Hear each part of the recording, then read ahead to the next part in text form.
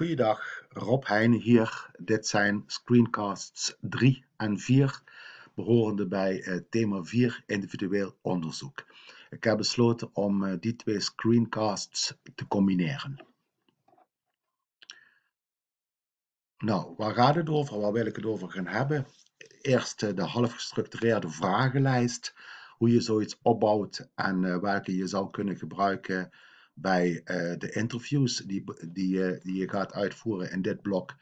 Dan wil ik uh, iets vertellen over interviewtechnieken. Hoe je begint met een intro, LSD, en de staat voor luisteren, samenvatten en doorvragen. Um, een aantal soorten vragen die je kunt stellen. En tot slot wil ik iets vertellen over processturing, wat een belangrijk uh, belangrijk iets, iets is dat je moet doen om zo'n interview ook binnen de tijd uh, tot een goed einde te brengen. De vragenlijst. Hier zien we de vragen zoals die stonden in de probleemstelling. Het ging over werk op afstand. Waar kan dat? Voor welke onderdelen van het werk wel of voor welke niet?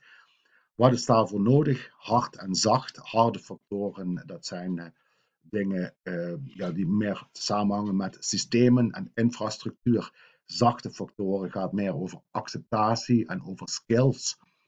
In hoeverre is dat aanwezig bij de betrokken partijen? Dus al die, die zaken die daarvoor nodig zijn. Hoe kan dat er komen?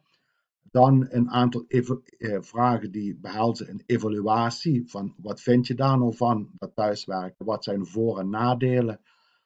Um, dan naar het einde toe, dan gaat het over knelpunten en aanbevelingen om die knelpunten op te lossen. Als we deze vragen nou eh, eh willen gieten in eh, zo'n half gestructureerde vragenlijst, de eerste stap die ik heb gezet is, ik heb ze onderverdeeld in drie groepen. Groep A gaat over beschrijven, begrijpen. Dan hebben we het over feitelijkheden, beschrijven van ja, wat zijn precies de feiten begrijpen gaat erover van hoe, uh, wat uh, motiveert de betrokkenen, waarom uh, vinden zij wat ze vinden of doen ze wat ze doen, wat zijn de beweegredenen van de, van de actoren in kwestie. Groep B, beoordelen. Dan gaat het over evaluaties, beoordelende uitspraken. Groep C, beïnvloeden. Dat heeft meer te maken met wat kun je eraan doen dan krijgen we al een, ja, een redelijk overzichtelijk geheel van uh, factoren die, uh, die leidend kunnen zijn bij zo'n interview. Dan, uh, als we hier kijken naar wat is er voor nodig, dat is een van de kernvragen, hard of zacht. Ik had reeds voor mezelf had ik een aantal factoren had ik, geïnventariseerd en gezet in de vorm van zo'n visgraatdiagram type werk, uh, apparatuur, afstemming, acceptatie, skills en zelfsturing. Dit kan dus ook input zijn voor die half gestructureerde vragenlijst als het gaat over uh, ja, het structureren van die vraag van wat is er voor nodig.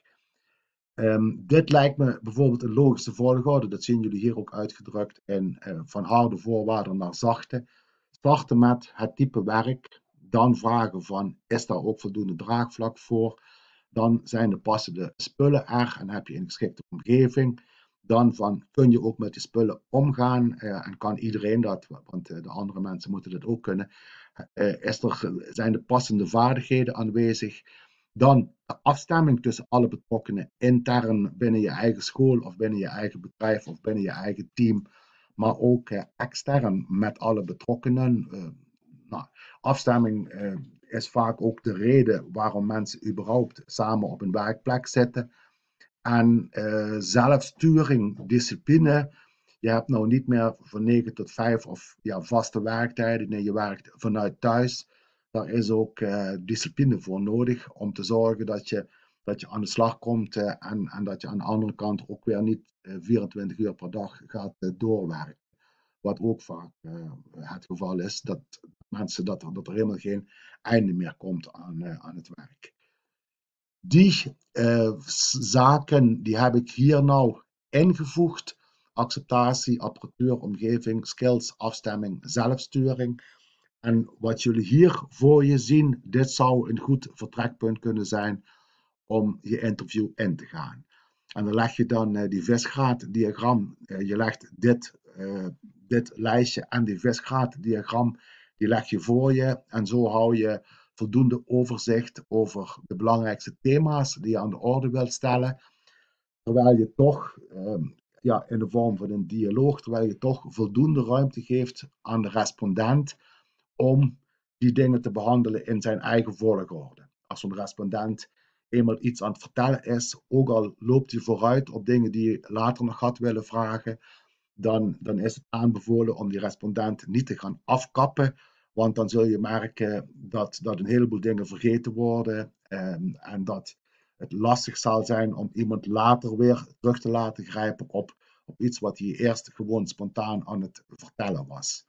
Jullie zullen ook straks zien dat bij dat taggen, bij dat analyseren, dat dan weer alles uh, terug in zijn hok wordt geduwd door daar een label aan te, aan te plakken. Dat alle thema's, zoals die worden aangeroerd, ook al is dat niet precies in deze volgorde, dat die weer uh, bij het betreffende deel, deelthema, dat die daar weer uh, bij zullen worden ondergebracht, zodat je dat ook kunt gebruiken in je verslag. Dan je half gestructureerde vragenlijst, die hebben we net gezien. Qua interviewen, je moet beginnen met natuurlijk een intro. Um, een goede introductie, ja, zeker bij schriftelijk uh, als je mensen vragenlijsten gaat afnemen, daar geldt datzelfde voor. Maar ook mondeling. Een goede introductie is belangrijk. Je moet de motivatie kweken bij de respondenten om echt jou te gaan vertellen wat je wil weten. En een andere functie van een introductie van, van een test voor introductie is ook dat je een soort programmaatje schetst van wat wil je gaan behandelen in dat interview. En dat programma kun je later ook dan weer op teruggrijpen. Um, ja, in, de, in de vorm van processturing. Dus om sturing te geven aan het interview. Als een respondent op sommige dingen veel te lang doorgaat. En als je ziet aankomen dat je niet alles goed behandeld zult, uh, zult krijgen. Format voor zo'n uitnodigende tekst hè, is nou, begin met het waartoe. Start with why, zeggen ze in het Engels. Uh, ga dan het hebben over het wat. Wat wil je precies uh, van die persoon, wat wil je gaan bespreken. En, en vervolgens het hoe. Hoe, hoe gaat het zijn, zijn beslag krijgen. Ik heb dat voor jullie ingevuld voor dit interview. En dat kan er dan ongeveer zo uitzien. Je begint met dus het waartoe. Nou, ik ga het hier niet helemaal voorlezen. Dan komt het wat. En dan komt het spoorboekje.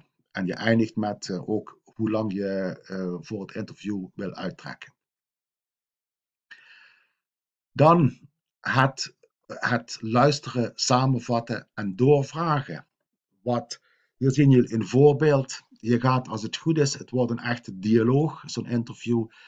We zijn daar vorig jaar al mee begonnen op afstand vergaderen met sommige van onze klanten bij de voortgangsbesprekingen.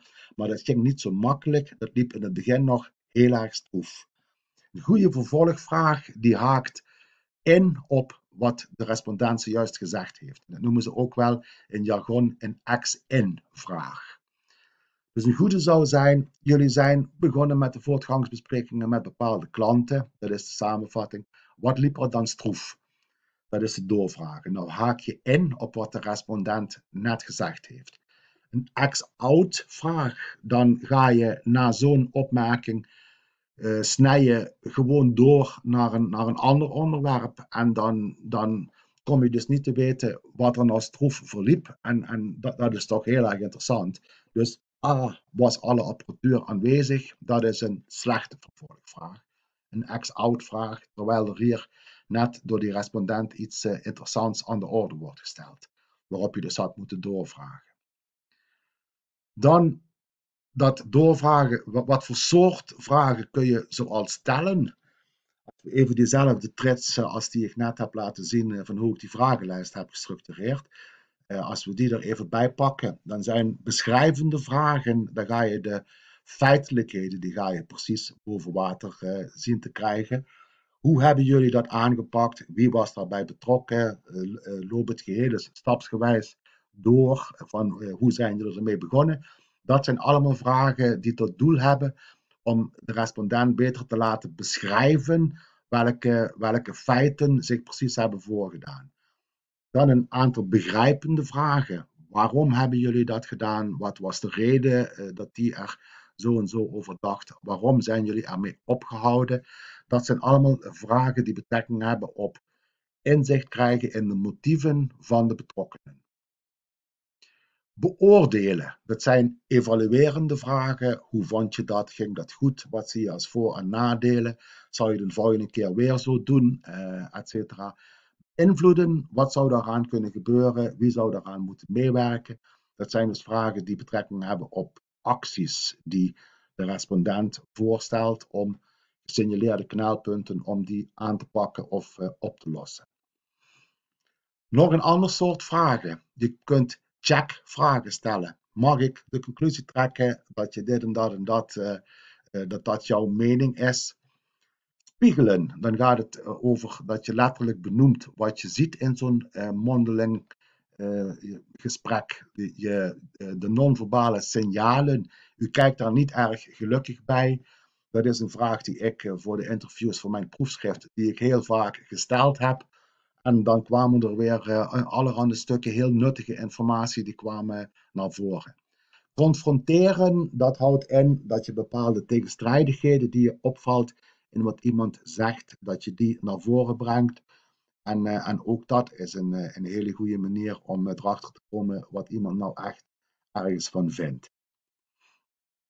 Dan tot slot het proces. Ja, we hebben gezien bij die, bij die introductietekst dat daar drie blokken als het ware werden aangekondigd.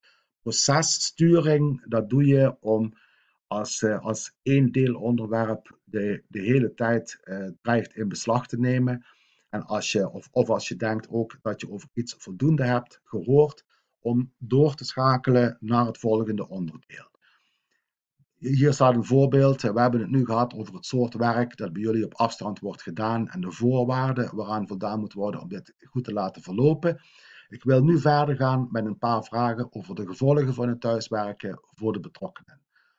Dat is een goede manier om te markeren dat je wil overgaan op een ander onderwerp.